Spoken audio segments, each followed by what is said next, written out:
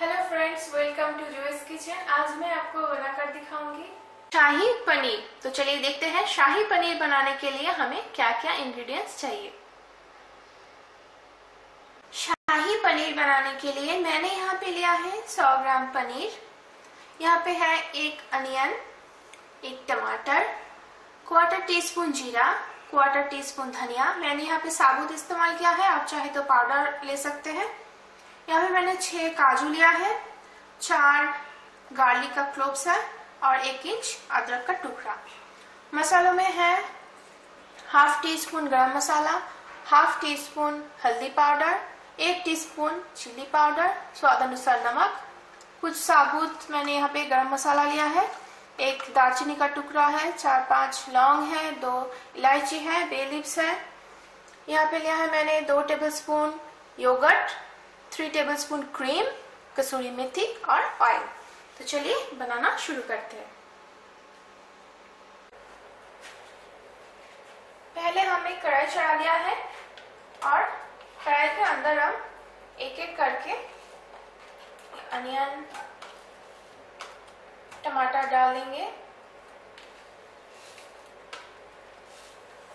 इसे हमें तेल से भुना नहीं है।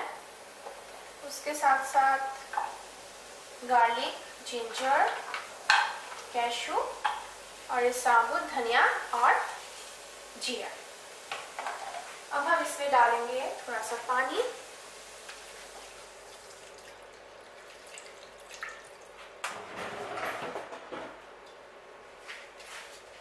और इसे ढककर हम तीन से चार मिनट तक पकने देंगे।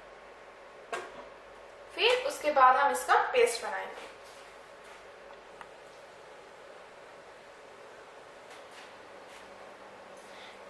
तीन चार मिनट मैंने इसे पका लिया है इस तरह से।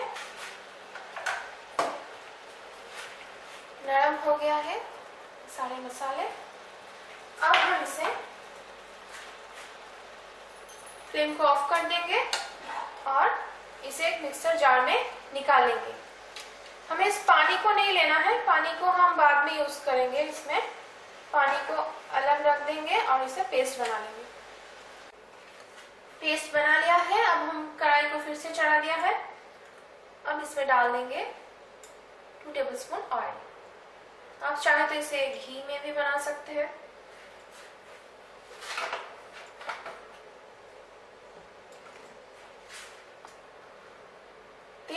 के बाद अब हम इसमें गरम मसाला डाल देंगे।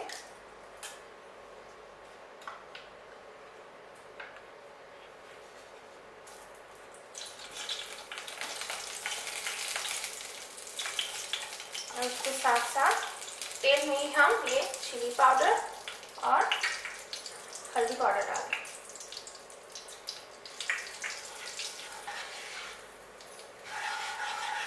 अब इसमें जो हमने पेस्ट बना लिया है, उसे डाल देंगे। टमाटर अनियन का पेस्ट मिक्स कर लेंगे अच्छे से।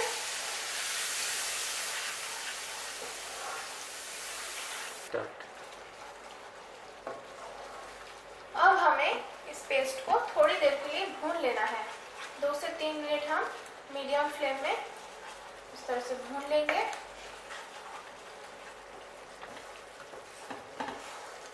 इसे मैंने लिए भून लिया है। भूनने के बाद ये थोड़ा सा गाढ़ा हो जाएगा। तो हम जो मसाले का पानी रखा था, उसे हम थोड़ा सा डाल देंगे इसमें। ज़्यादा नहीं।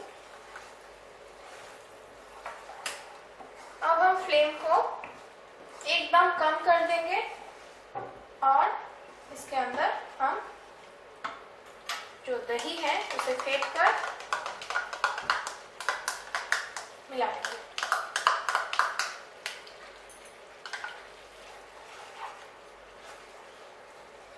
हाई हीट पे आप दही ना डालें, उससे दही फट जाता है। जब भी आप खाने में दही डालें तो फ्लेम को एकदम लो कर दीजिए या फिर ऑफ़ कर दीजिए। दही डालने के बाद आप फिर से उसे ऑन करके मिला लीजिए।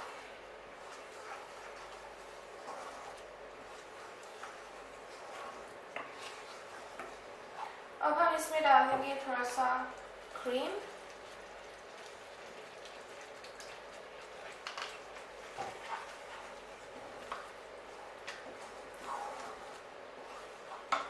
स्वाद अनुसार नमक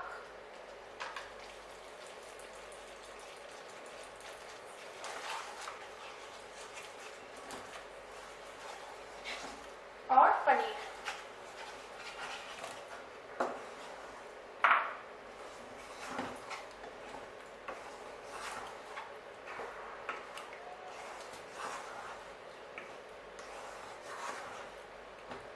अब इसे लो फ्लेम में हमें दो से तीन मिनट तक पकाना है। आप अभी इसमें थोड़ा सा गरम मसाला और डाल सकते हैं। साथ में कसूरी मेथी भी डाल दीजिए। इस तरह से।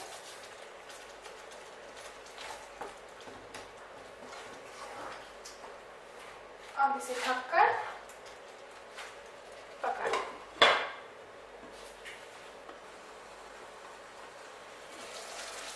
मैंने इसे पका लिया है।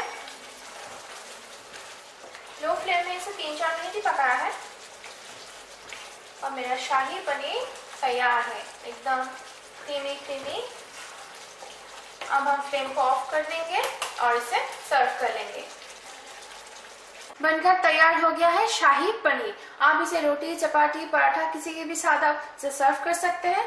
तो अगर ये रेसिपी आपको पसंद आए तो मेरे इस वीडियो को लाइक कमेंट और शेयर ज़रूर कीजिए और मेरे चैनल को सब्सक्राइब करना ना भूलें। तो फिर मिलते हैं और एक रेसिपी के साथ। तो टेक केयर बाय बाय